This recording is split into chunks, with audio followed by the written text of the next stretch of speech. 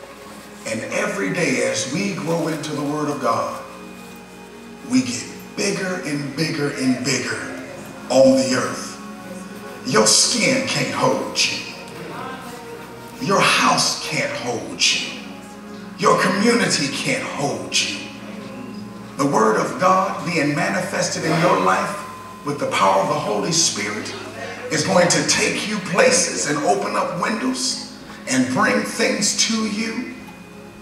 You'll have influence and power that you didn't even know. I'm teaching it here today in Jesus' name.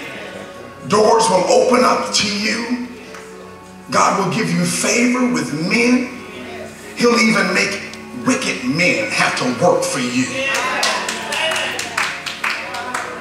He'll cause people that don't even love what you do for God or the God you do it for to open up the windows of their hearts and begin to pour on the inside of what we need in the kingdom. They'll give you houses and land. They'll give you cars because the kingdom of God shall not go in lack. You don't have to have the money when you understand the gift you are. You become the resource. You become the resource. Somebody say, I'm the resource. Touch yourself and say, I'm God's wealthy place. Now shout, I'm a gift, I'm a gift, I'm a gift, I'm a gift. Shout it. You didn't shout it. I'm a gift, I'm a gift. I'm a gift. Been invited to preach and teach. Sitting with one pastor last night at his house and he said, I want you to teach my leadership in the year 2015. I'm giving all my leadership to you for the year. I want you to teach them. I said, oh man, I ain't got time for all that old heap of foolishness. Somebody say heap of foolishness. I didn't put that in the, in the vocabulary. Heap of foolishness. You got a little country to say it now. Yes, a heap of, say a heap of, heap of foolishness. Work with that, okay? Heap of foolishness. You use it, okay? Because while you're growing, I'm going to walk today, y'all don't mind, do you? While you're growing, Linda, you don't see that the gift has gotten too big for just you. And God can't just keep you in the same place. So folk, even folk that don't understand your like you, will have to come back to you. I'm not going to ask you for anything but what God has put in you. You'll know when you're going to your righteous place because folks stop asking to borrow stuff that they can get for themselves and they want to get to know the God on the inside of you. If you just look at my exterior, I'm rocking this big face bow tie. Y'all see it? Ain't that little bitty one. I had some of those. I'm too big for a man to wear a little choke thing. Someone got me. Dr. Young one got this for me. My, big brother, and got this for me. He's too big, six foot four. He got a business a little bitty boy boy tie. So he got me this, rock this one. Shack that hanky in there. Y'all see these shoes, don't you? Get it. Is the lighting good? That's that, that's that deer skin, buff face Mezlan I got on. Everybody ain't walking like this, baby. Everybody walking like this. My shoes so light on my feet, I feel barefooted. I hate it. You see what I'm saying? Then I'm rocking this. Y'all see this light stripe. It ain't a pinstripe. It's a light stripe. It's K&G, but hold on.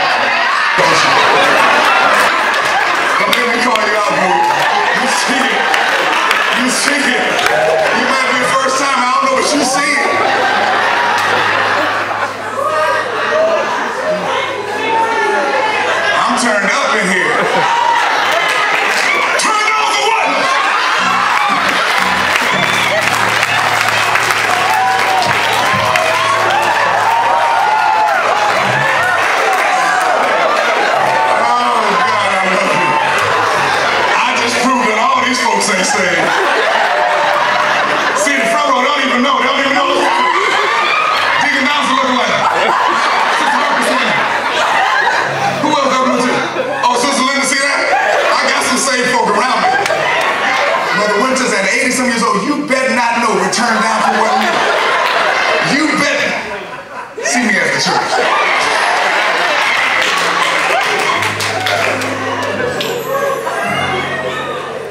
Even with all this on, if I didn't stand up here and have a word from the Lord that could change your life, it would be in vain. The issues that are against us is no one is telling you how big your inner gift is. And you're spending all your time preparing the exterior of your life. when you would do better to put your wealth on your interior and let your exterior be cagey. Don't get me wrong. You can have whatever you want. God don't mind you having nice things. I'm doing this analogy for a purpose. For I know the plans I have for you. This is God talking, declares the Lord. Plans to prosper you and not to harm you plans to give you hope and a future. Jeremiah 29, God, how are you going to take me? See, I've always thought that God was just going to miraculously take me there. But Minister Stacy, I just found out that I'm going to actually take myself there. You're going to actually take yourself there. That little gift that you think is not, has no value, let me hit that before I go further. There is not a person in this room that the gift you have already doesn't have value. If we're going to have Christmas, let's have Christmas. Why would Jesus do all he did for you not to have value? From the moment you said yes to God, Jesus anointed everything he spread a table. Give me some more oil, please. Give me some more oh, oil, please. Watch out. The table's been spread.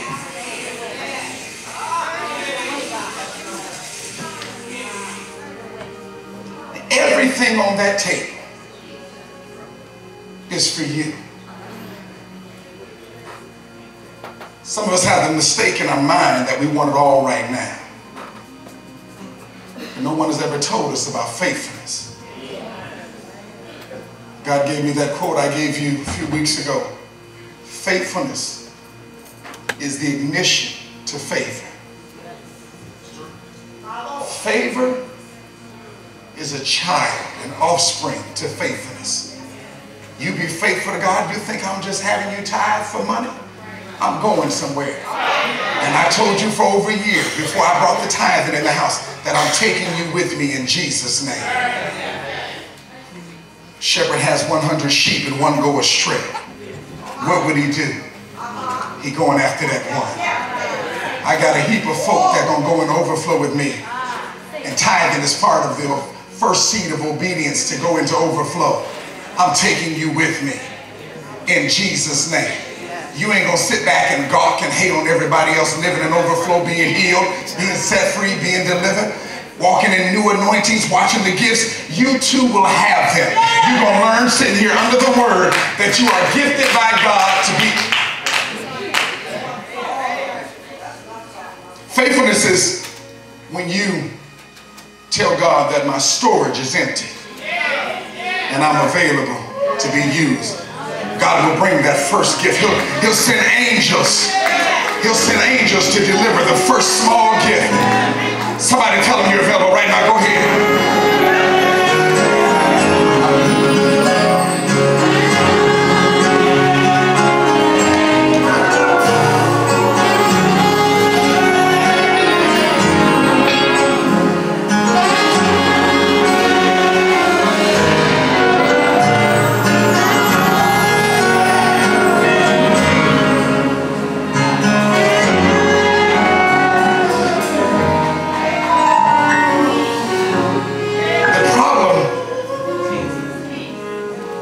Small box is we believe the small box can't have anything valuable in it. So the folks sitting in the overflow believe they just come to church. But the truth of the matter is some of your greatest gifts are in small boxes. What good would it do for somebody to give you a big diamond that you can't wear on your finger. So when you, you gotta, it's gotta have a stage, baby. So the diamond, the presentation is everything. Anybody ever been proposed to? And they say it like all the men getting with plain Vans.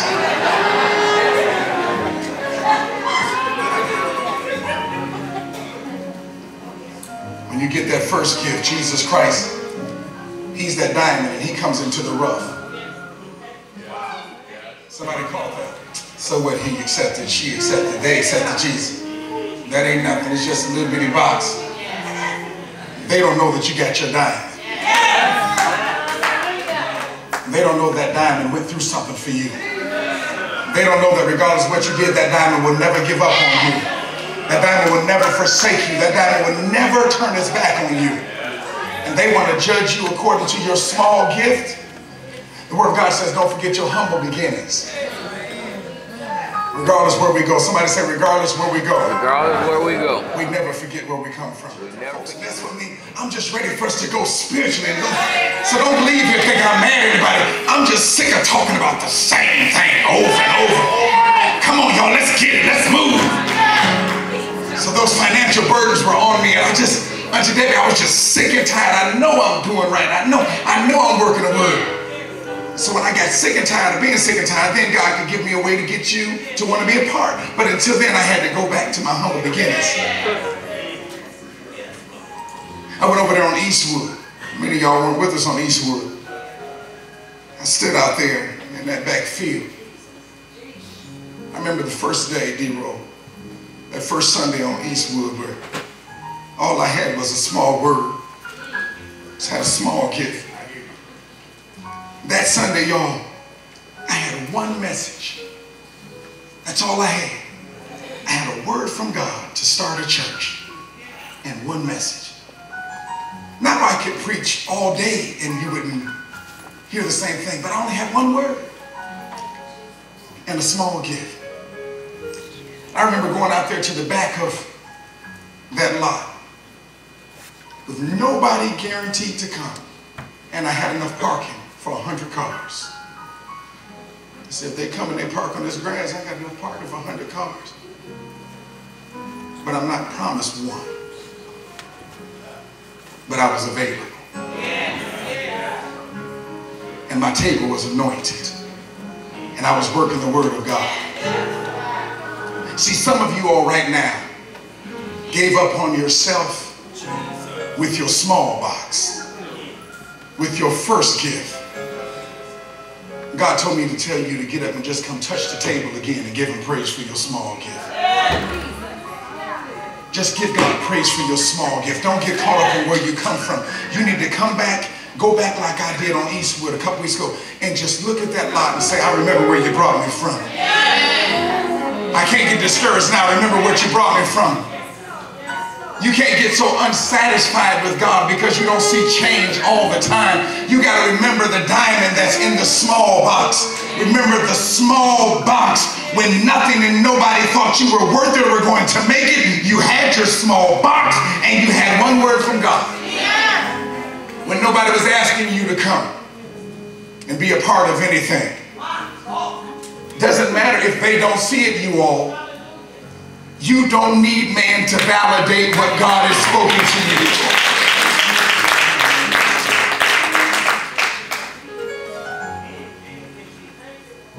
You need to believe in your initial gift.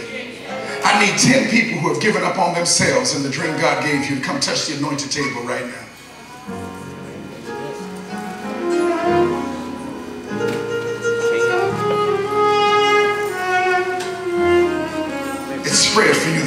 Spread for you. You are the greatest gift. You are God's greatest gift. He can't release the next thing till you give him praise for this thing. I don't care what you've done. I don't care who told you that you didn't deserve and you weren't worthy. Go back to your anointed place. Go back to your initial place. Go back to understanding what God said to you in the beginning. Now that you're there, now watch what God will do. Watch what God will do. Watch what God will do.